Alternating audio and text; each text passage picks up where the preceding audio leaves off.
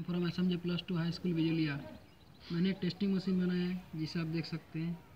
मैं कनेक्ट करके आपको दिखा रहा हूँ। देखिए लाइट ग्लो कर रहा है।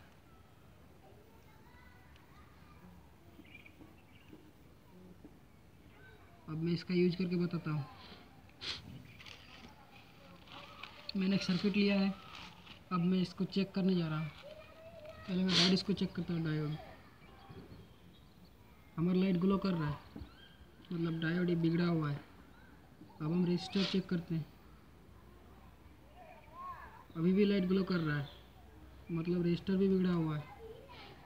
अब हम दूसरा डायोड चेक करते हैं। ये डायोड भी बिगड़ा हुआ है।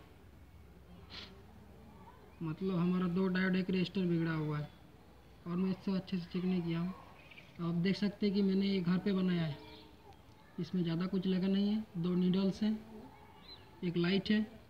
दो सिरिंज दो सेल और एक वायर है। इसे आप घर पे भी आसानी से बना सकते हैं। जनरली हमारे, हमारा कोई चेक करना रहेगा, कोई भी सर्किट वगैरह तो हम मल्टीमीटर का यूज़ करते हैं। Sometime we have no multimeter तो हम क्या कर सकते हैं? इस तरह का यदि यदि आप इस तरह का यदि बना सकते हैं टेस्टिंग मशीन तो हम आसानी से चेक कर सकते हैं इसको।